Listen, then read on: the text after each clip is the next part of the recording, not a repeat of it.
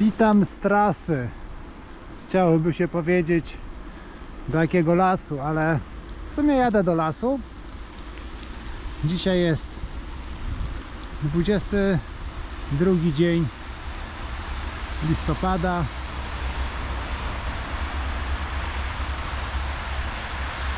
Piękna pogoda, błękit nieba, ale w nocy nie tylko mróz, ale i śnieg spadł. Zobaczymy co słychać w lesie. Zanim dojadę do lasu jeszcze muszę pokonać tutaj krajową szóstkę. Jeszcze krajową szóstkę, bo jeszcze nie, nie jest szóstkę, bo na razie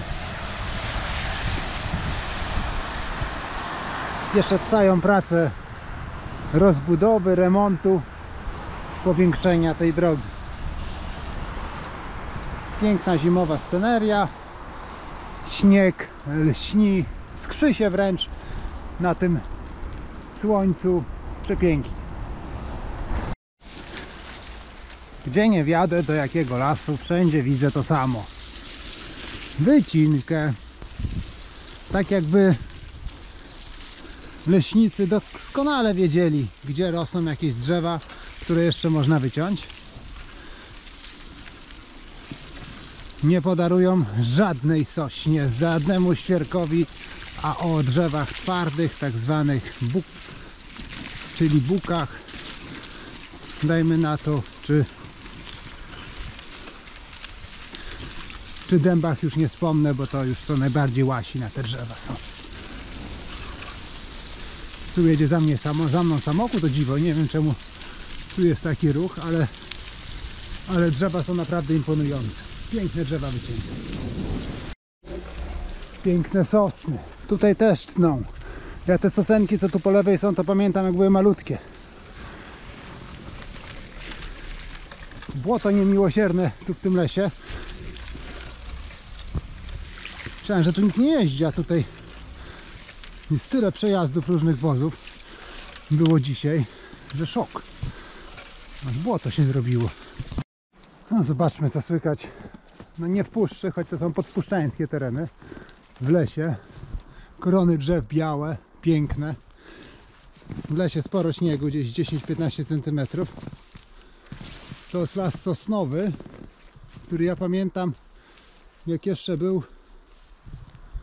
aż się dziwię, że on tak szybko urósł kiedy były w takich posadzone sosenki no nie był to taki młodnik, ale się dało dosyć fajnie iść, ale szedł rósł w rządkach. Teraz tych, te rządki gdzieś się zgubiły.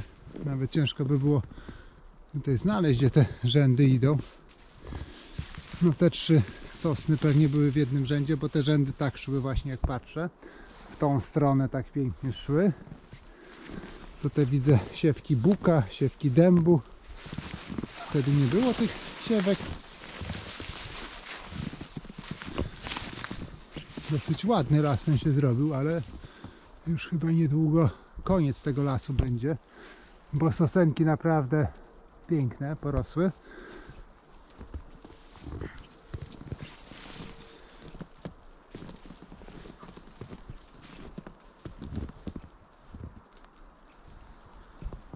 Imponujący, imponujący las sosnowy. Ale już tam tną z tamtej strony, o dziwo. Tam były piękne miejsca też na grzyby. Niestety wszędzie się tnie teraz.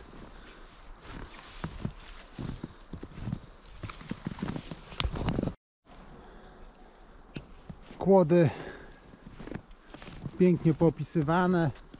35, 36 ponumerowane. Tutaj też wszystko jest oznaczone, policzone.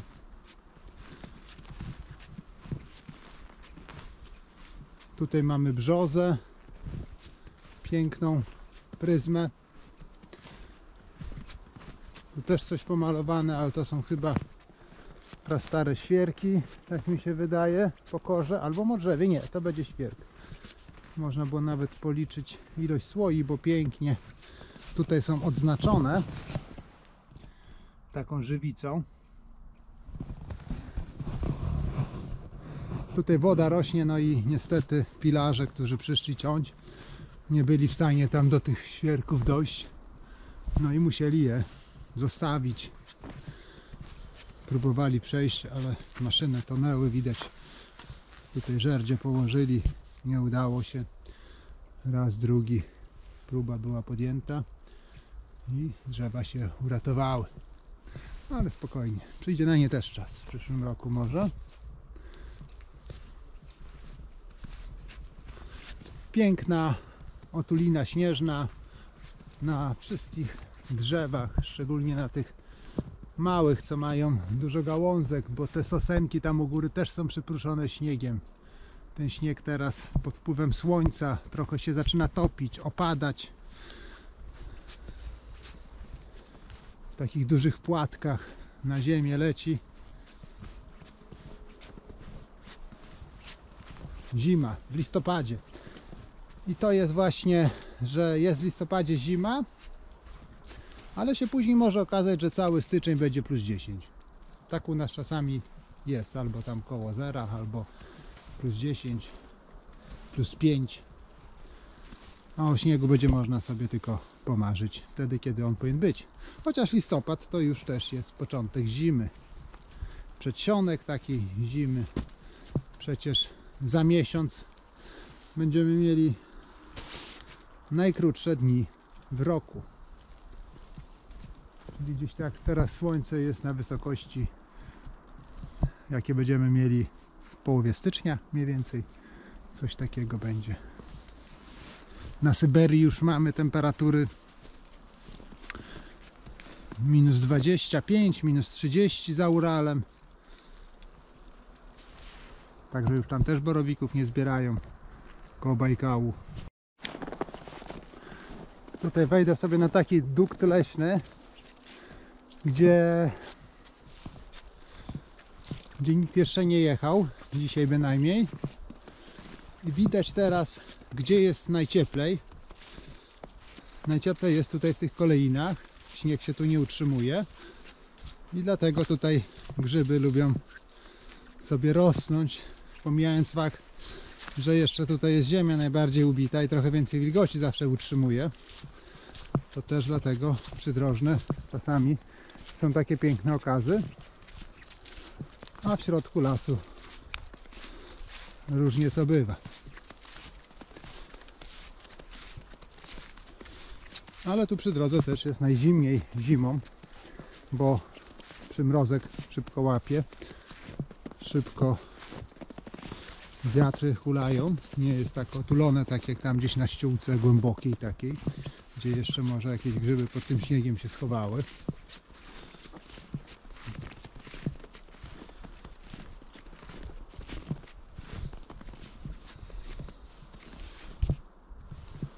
Tu w tym lesie to się w zasadzie zaczęły moje grzybobrania. To, to był zupełnie inny las wtedy, młodnikowy bardziej. Teraz to jest bardzo wielki las, który jest narażony niestety na zagładę, bo będzie wycięty. Tu pod świerkiem widać gęste gałęzie świerku, uniemożliwy, uniemożliwiły dotarcia śniegu do tej ściółki. Dlatego tu jest kawałek czarnego miejsca, taki ściółkę ładnie widać bukowe liście dębowe. No i choinka. Świerk pospolity.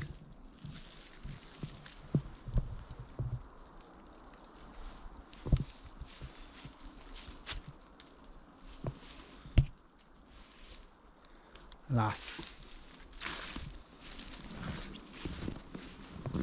Bardzo dużo siewek tutaj rośnie to są sadzone? Chyba to są sadzone, bo aż, aż tak nieprawdopodobne, żeby aż tak duża ilość ich tu rosła. Są nasadzane, bo są rządki, czyli będzie to las bukowy. Kto wie, czy może tu nie powstanie druga puszcza bukowa, taka jest koło Szczecina. Nawet nie wiedziałem, że jest taka piękna puszcza. Czy tam ktoś chodzi na grzyby? Może i chodzi. Chociaż miasto jest olbrzymie obok tej puszczy Przecież Szczecin to nie jest maleńkie miasto. Ci, co mieszkają w Szczecinie, mają trochę problem z grzybami, bo z jednej strony Odra, z drugiej strony morze, z trzeciej strony Niemcy. A ludzi pełno. Chętnych na borowiki. Ale sosny olbrzymie. Przeolbrzymie, naprawdę. Nie wiem czemu jeszcze nie są wycięte. Chociaż nie, jak oni będą je tu ciąć, żeby tych buków nie zniszczyć. Jakoś będą musieli tak delikatnie to zrobić. Myślę, że sobie poradzą fachowcy.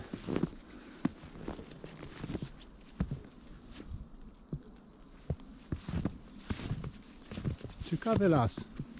Sosnowo-bukowy.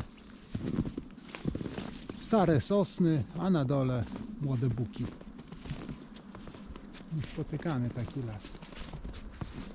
A co to za, za krzew? Tej listki jeszcze ma widać. Nie spadły. Zresztą z buków też nie pospadały z tych młodziutkich. A może to są wiązy, nie buki? Raczej bułki. No jedzie jakiś grzybiarz. Oczywiście gdyby nie śnieg, to bym był pewien, że to grzybiarz.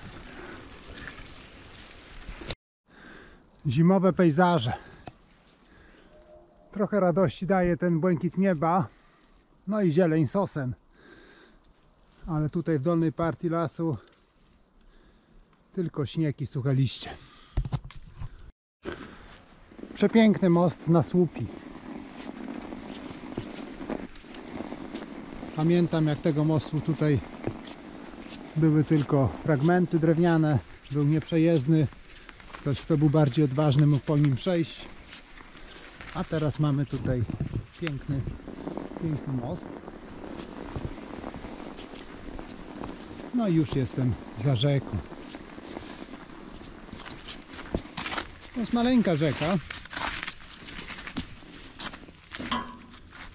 Porównaniu do tych wielkich rzek, na przykład jak Jenisej, czy, czy Lena, czy, czy Anga, Angara, to to jest naprawdę bardzo mała rzeczka. Tutaj celowo zejdę na dół po tym śniegu, po tym leśnym terenie, bo tu jest jakiś kamień.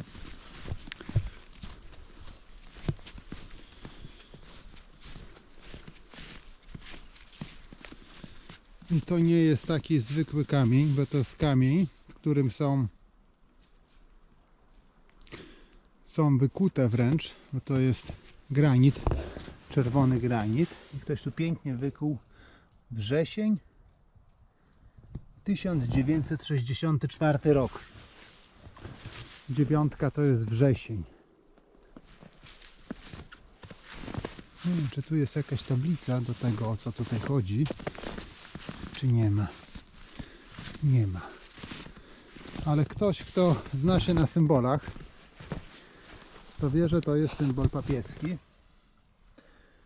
I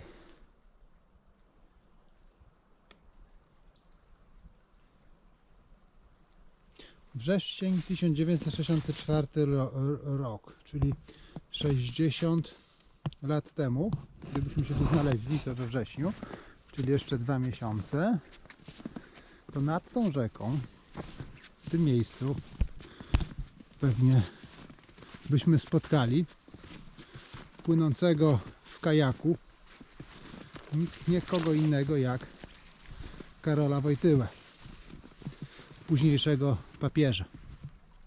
Właśnie tu na tej rzece Słupia on no lubiał sobie na, na kajaku popływać. Może wiele osób lubi. Ja się trochę wody boję, to myślę, żebym się bał w takiej głębokiej, wartkiej wo wodzie się znaleźć, jaką jest Słupia. No to jest dosyć głęboka rzeka przecież. Chociaż wiele osób pływa w tej rzece jako atrakcja wakacyjna. Nurkuje, skacze na główkę, no różne rzeczy robią. Piękna rzeka wśród lasów. Lasów nadleśnictwa, leśny dwór. Tutaj pięknie jest biało w tym lesie liściastym. Te wszystkie gałązki są otoczone.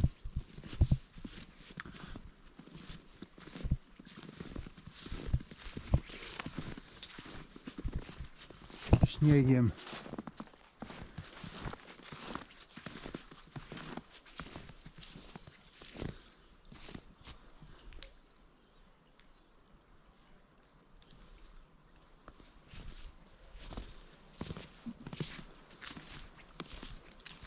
Zima w lesie.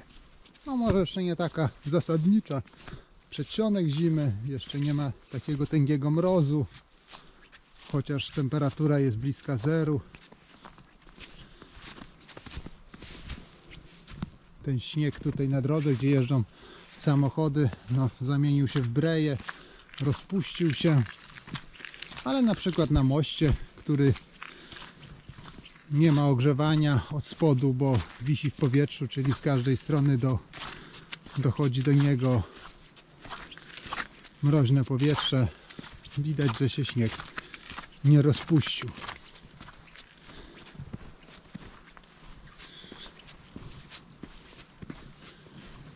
Sześćdziesiąt lat temu kajakarze tu musieli płynąć.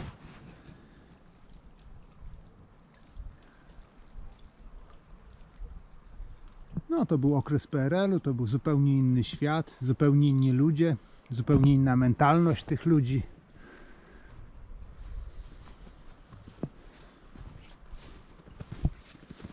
To było 19 lat, zaledwie po II wojnie światowej na tych terenach, które były tutaj w Polsce. To upłynęło zaledwie 19 lat. W zasadzie jeszcze wszystko pachniało Niemcami.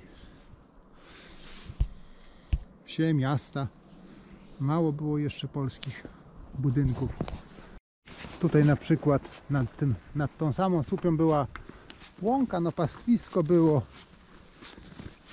Może była nawet łąka, którą kosili na siano rolnicy w środku lasu, nad rzeką i ktoś kiedyś się dopatrzył, że to jest jego własność i postanowił teren ogrodzić, bo na, tym, na tej łące zaczęło się pojawiać za dużo wędkarzy, za dużo osób, którzy biwakowali sobie tutaj, bo to takie bardzo fajne, ustronne miejsce. Z jednej strony rzeka, z drugiej strony las, łąka.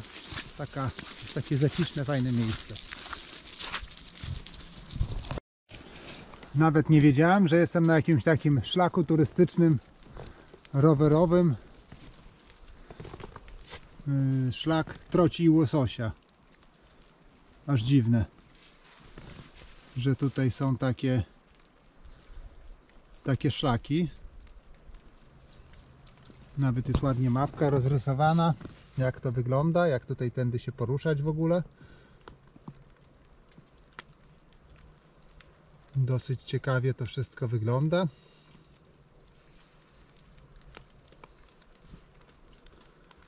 Tu jest narysowane, że tu się znajduje. Trochę tak za bardzo nie wiem o co tu chodzi, co tu jest za wieś. Chyba Łosino, tak mi się zdaje. Tak, tu jest Łosino, to jeszcze trzeba było gdzieś do parku w Łosinie pojechać, tutaj za most. Czyli ja w ogóle tym szakiem nie podróżowałem, tylko dotarłem do jego, do jego tutaj takiego zakola. Tutaj dopiero gdzie są te miejsca borowikowe i podgrzybkowe, to tam jest zasadnicza część szlaku. Ma tam piękne grzyby rosną. Za mostem. Długość szlaku 5 km, kolor zielony. Tutaj mamy jakiś głaz, który wpadł do rzeki. Pozostałości po pałacu w Łosinie.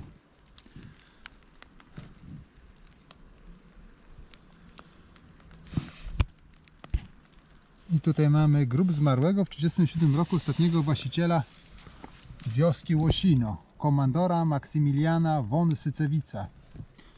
właśnie ten ród Cycewiców to byli właściciele tutejszych nie tylko gospodarstw, ale całych wsi. Nie wiem, czy ludzie też byli ich wła- własnością, mieszkańcy. Chyba tak, podlegli może byli. Bo Kiedyś się handlowało nie tak jak dzisiaj jakimiś nieruchomościami, tylko się od razu handlowało całymi wsiami, zataja- zataczającymi je polami, lasami i ludźmi, którzy tam mieszkają.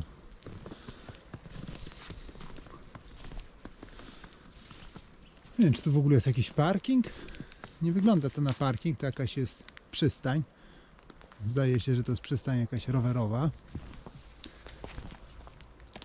Słupia w Gołębiej Górze. Do rzeczy słupi. Wszędzie mamy słupie. Tutaj mamy ładnie napisane wszystkie rzeki, które są w okolicy. Grabowa, jedna z najdłuższych rzek. Chyba zdecydowanie jest dłuższa od, od słupi. Mimo, że jest bardzo maleńką rzeką, taką rachityczną, ale jest bardzo długa. Wieprza, Łupawa i Łeba. Łeba wpada widać do jeziora Łebsko, Łupawa do chyba do jeziora tutaj będzie do Gardno, Słupia no do morza, Wieprza też do morza. Słupia w Ustce, a Wieprza w Darłówku. Można powiedzieć, że w Darłowie.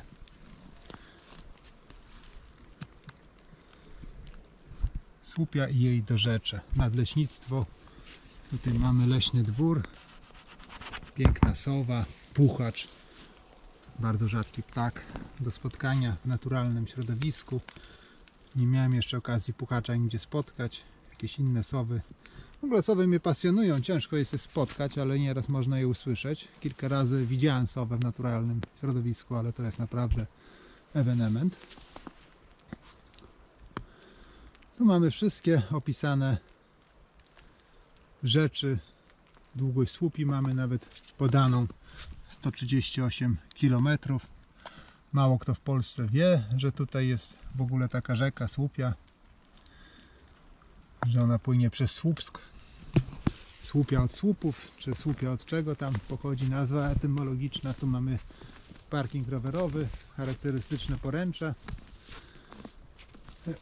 I te poręcze są stworzone dlatego, żeby rower przypinać za ramę, a nie za koło, bo jak się są te parkingi, że się koło wprowadza i ktoś inny trąci ten rower, to nam centruje koło, albo złamie, albo skrzywi. Tu takie mamy stanowisko do posiedzeń. Tutaj zadaszone. Jakieś konferencje można, jakieś spotkania towarzyskie, odpocząć można też coś przekąsić. Dosyć dużo tutaj jest tych stolików, być może jakieś większe wycieczki tutaj przyjeżdżają. No i tutaj mamy tablicę, że Unia Europejska się dołożyła do, do tych tutaj pięknych obiektów. No i Polska i fundusze europejskie. Nie ma tutaj kwoty, bo tutaj cel projektu ochrona stanu środowiska przyrodniczego i przywrócenie różnorodności biologicznej. No to stąd może są te nasadzenia buka tutaj w tej sośnie, no ale wycinanie tych, tych drzew, no to raczej nie jest to ochrona stanu środowiska przyrodniczego. Co rozumiem, gdyby to były jakieś wywroty, wiatrołomy, tak jak tutaj o się wywróciło drzewo z korzeniami, brzoza piękna, no, obcięta jest, no to nie było wyjścia, zatarasowana droga, no trzeba było ją usunąć. Ale tamte piękne drzewa niestety już niekoniecznie. Tutaj mamy taki piękny dębowy, e, dębowy wąwóz, tam piękne borowiki. Ktoś, kto tu lokalnie mieszka, to doskonale wie, że tutaj jest bardzo dobre stanowisko na borowika, ale to nie będę zdradzał może miejscówek. Za dużo ludzi się tutaj zgromadzi, choć tu nie ma parkingu. To myślę, że chociaż tutaj za torsem można by było od biedy stanąć. Chociaż to jest droga publiczna, udostępniona do ruchu, ale mimo wszystko w lesie muszą być wyznaczone parkingi chyba. chyba. Co tutaj mamy? Ściennica 17 km. No byłem w Ściennicy, tam w sumie nic nadzwyczajnego nie ma. Był swego czasu tam PGR, którego nie ma. Lubuń. No była tam kiedyś baza SKR-u, której już też nie ma. Kobylnica też było kółko rolnicze, też go nie ma. Słonowice. W Słonowicach. Właśnie, w Słonowicach nie było ani SKR-u, ani bazy PGR-u.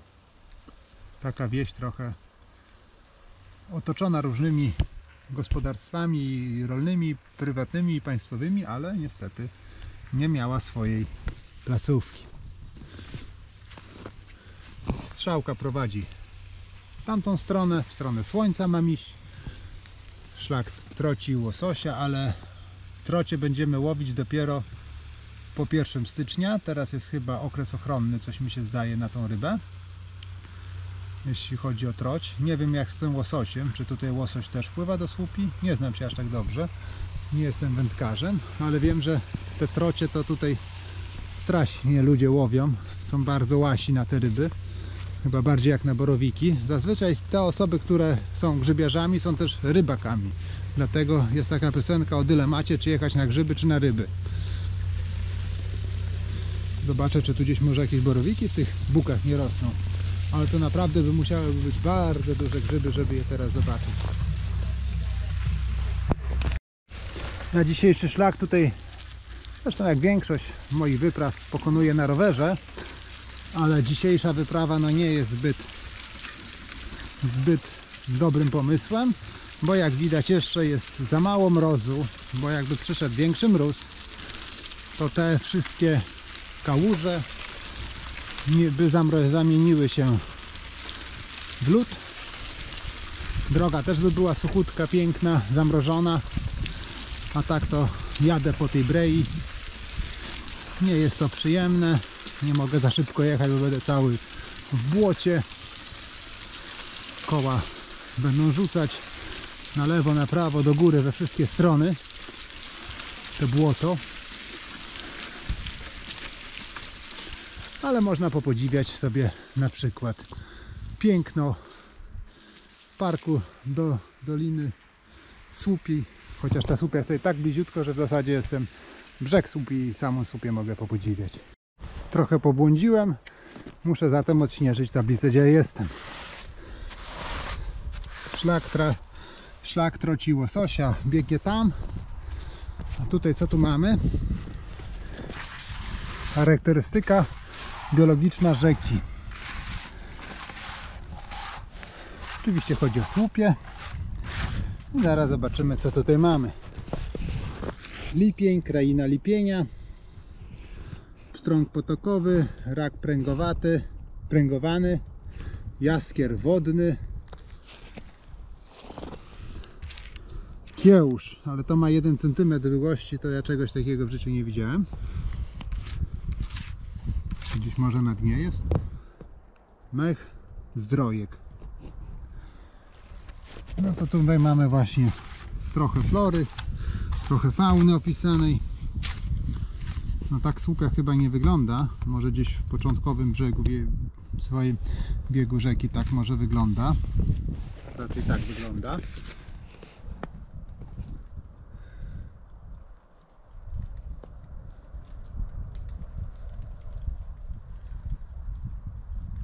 Tutaj mamy wszystkie informacje odnośnie rzeki, rzeki Słupia. Ktoś, kto nas finansował, Fundusz Ochrony Środowiska i Gospodarki Wodnej w Gdańsku. Czyli nie byle kto, Park Krajobrazowy Dolina Słupi. Ale ja już opuszczam chyba tereny leśne.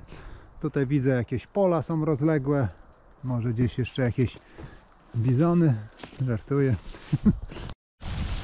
tak tu podziwiam te scenerię zaśnieżonych pól. Tu jest posiana już chyba jakaś ozimina. Jako ciekawostkę mogę podać, że te pole zazwyczaj obkaszał. Nie wiem jak to teraz aktualnie wygląda. Ale bizon rekord z roku 1987. Też oponę zgubił.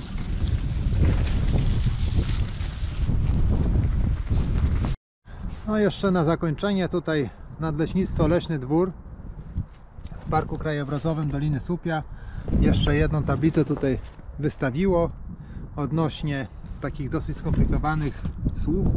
Awifauna i teriofauna, bardzo rzadko używanych słów w języku potocznym w zasadzie nie występującym. Awifauna dotyczy tutaj terytorium występowania ptaków. Tutaj tych ptaków mamy sporo, bo mamy gągą, tracz, nurogęsi, no kaczka krzyżówka bardzo pospolita, samotnik, derkacz, strumieniówka, pluszcz, pliszka górska i brzegówka. No sporo tych, y, tych tutaj jest ptaków występujących y, w okolicy tej rzeki i nad samą rzece i w rzece. Ale mnie najbardziej interesuje lasy bukowe nad Słupią.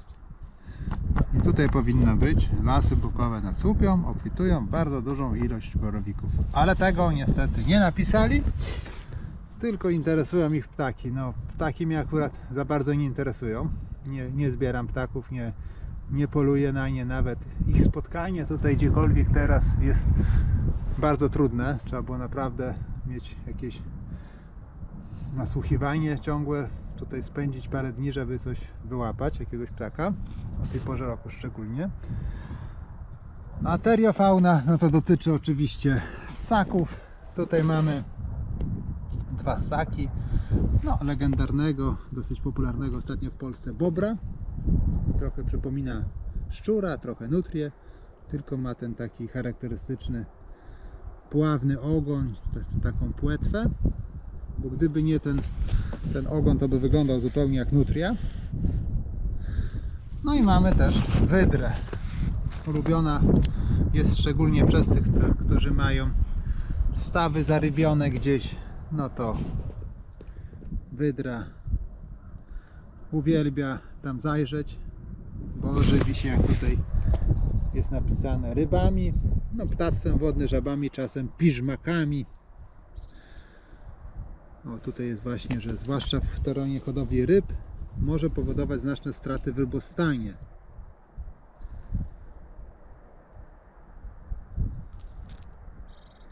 Gatunek pospolity w Dolinie Słupi, widywany, widywany nawet centrum Słupska. Proszę bardzo, wydra.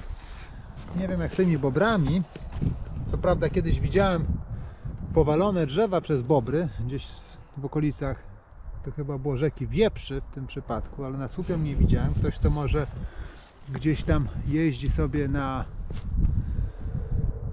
czy pływa raczej na tym na tych kajakach, to może widzi coś takiego. Ja to to na, pły, na kajakach nie pływam. Chociaż byłem kiedyś w kajaku.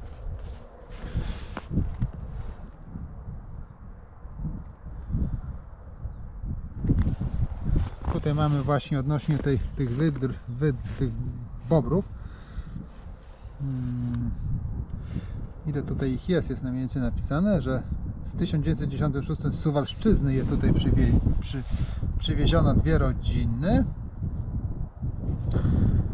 Tylko, na terenie parku jest tylko kilka miejsc występowania tego gatunku. Ale zwierzęcie kontrowersyjne jest, proszę bardzo bo zatapiały lasy, tereny leśne, łąki i pola. Także bobry są, okazuje się, jednocześnie atrakcją turystyczną i zwierzęciem chyba pod ochroną, a z drugiej strony jest to jednak zagrożenie dla, dla pól, łąk, bo może powódź powstać przez bobry. Wszystko tutaj jest opisane o tej teriofaurze. No ale ja już tutaj opuszczam w ogóle tereny leśne. Nie chce mi się przez las jechać, przez te błota, które tutaj przyjechałem. Wrócę tutaj trochę inną drogą, przez wieś. Może wyjadę gdzieś w bardziej cywilizowane miejsc drogi, trochę bardziej utwardzone. Nie myślałem, że w ogóle tutaj tak dużo samochodów jeździ tymi drogami, bo, bo chyba już z pięć samochodów widziałem na tej mojej krótkiej przecież leśnej wyprawie. To w Puszczy Słupskiej przez cały dzień nieraz widzę jeden, nieraz dwa samochody, a tu jeden za drugim. Prawie.